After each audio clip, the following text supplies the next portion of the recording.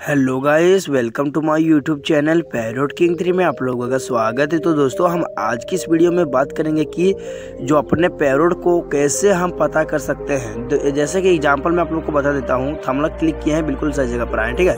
थोड़ा सबर करो, वीडियो ज़्यादा लंबा नहीं होगी, तीन मिनट, पच्चीस सेकेंड से ज़्यादा वीडियो लंबा नहीं होगी, ठीक है? तो दोस्तों, मैं आप लोग को बताना चाहता हूँ अगर यदि आप लोग जंगल में आए हैं और आपको पैरोट कैसे नहीं मिल रहा है और पैरोट को आपको खोजहार करना है, यानी ढूंढना है पैरोट को।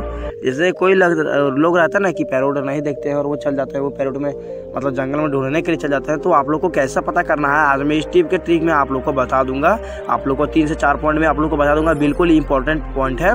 इसको स्किप मत करना वीडियो, ठीक है? और चैनल पर नया है तो वीडियो को लाइक करना, चैनल को सब्सक्राइब करना और वीडियो अच्छा लगा तो शेयर भी ज़रूर क्योंकि शेयर भी किया करो क्योंकि आपके आपके लोग जो घर तरफ़ अगर चाहते हैं पैरोट को लाना के लिए, उसको पता नहीं कि पैरोट कैसे मिलती है। उनके पास भेज देना, ये वीडियो वो देख लेंगे तो सीख जाएँगे, ठीक है? तो चलो आज की इस वीडियो में बात करेंगे।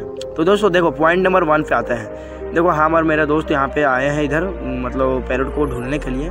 और इधर देख सकते हैं कि जो जानवर चराने वाले लोग हैं, वहाँ जानवर भी चरा रहे हैं और जंगल में हम लोग आते हैं, आए हैं, देख सकते हैं। अपने गाँव से तीन चार किलोमीटर दूर में आया हूँ मैं जंगल में। तो देखो, इतना मेहनत करके आप लोगों के लिए आया हूँ तो आप लोग वीडियो को थोड़ा सा लाइक ही करना है भाई। लाइक करो सब्सक्राइब करो कॉमेंट भी करो, क्योंकि मेरा भी खुशी मन रहे तो देखो, आप लोग को क्या करना होगा पॉइंट नंबर वन अगर आप लोग को इस तरह का पेड़ दिख जाए और अगर यदि उसमें बिल दिख जाए इस तरह, ठीक है?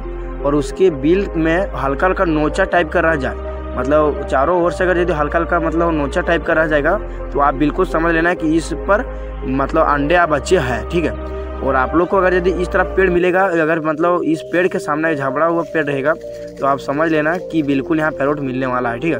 और इस तरह का एरिया में अधिकतर पैरोट यहीं पर इस तरह मिलते हैं ठीक है? देखो एक पैरोट है यहाँ पे मतलब एक यहाँ पे ए, मतलब पेड़ है ठीक है? और देखो ये कितने सारे पेड़ इधर चारों ओर से मतलब है घिरे हुए हैं। देख सकते हैं। इधर कितना बड़ा बड़ा पेड़ है, देखो प्लास का फूल है, ये फड़ने वाले हैं। और आप लोग को मैं बता देता हूँ, अगर यदि इस तरह का एरिया में आप लोग को चाहते हैं, अगर इस तरह एरिया में ज़्यादा ही पैरोट रहता है, ठीक है, इसलिए मैं आप लोग को दिखाने के लिए अपने घर से तीन किलो, चार किलोमीटर दूर आया हूँ आप लोगों के लिए। देखो, अगर यदि आप लोग को पैरोट ढूंढना है तो आप लोग को सिंपली क्या करना होगा, जानते हो?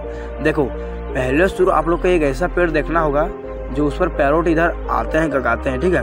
उस पर पैरोट अभी इस पर पैरोट था, लेकिन हमने मार के भगा दिया उधर। क्योंकि वीडियो ऐसा थोड़ी बना पाता, क्योंकि इधर बहुत ज़्यादा मन रहते हैं पैरोट, और ऐसा पैरोट आता है, क्या वैसा जिद्दी जो नोच ही देते हैं, आप मतलब आदमी को भी नोच देते हैं। तो आप लोगों को देखो, अगर यदि ये पैरोट चाहते हैं, अगर पहचानना तो देखो, पहला पॉइंट आप लोग को सिंपल में आप, मैं आप लोगों को बता देता हूँ, ठीक है? पहला पैरोट अगर यदि इस तरह एरिया में पैरोट अगर यदि मिल जाए, और अगर यदि वो इस पेड़ पर जाकर मतलब बहुत ज़्यादा चिल्ला रहे हैं साउंड कर रहे हैं तो आप समझ लेना, पहली बात कि वहाँ पे अंडा बच्चा है, ठीक है? अब उस पर बिल में हाथ डालने के बाद पता चलेगा कि वो है। देखो, ये सुगा उड़ कर देखो, उधर जा रहा है। देखो देखो, उधर चल गया अभी। पीछे थोड़ा रिफ्रेश करके देखना, पैरों मतलब उड़ के चल गया उधर। देखो गहूम का, अगर गहूम पक जाएगा तो आप समझ लेना कि पैरोट का सीज़न आ चुका है, ठीक है? उस टाइम आप लोग को मिल जाएगा। तो आप लोग पूरी जानकारी आप लोग अच्छे से समझ गए होंगे। और अच्छे से समझ गए होंगे तो बस वीडियो को लाइक करना है और फटाफट चैनल को सब्सक्राइब करना है। फिर मिलते हैं नेक्स्ट वीडियो में, तब तक के लिए जय दोस्तों